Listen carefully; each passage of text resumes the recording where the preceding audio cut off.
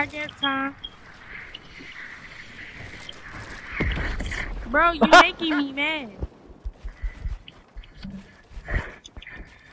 What's the story, kid? Uh, see, I started calling you damn basketball because you was moving niggas and it was funny.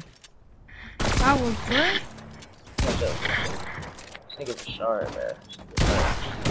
I will never forget that moment, kid, when you told me.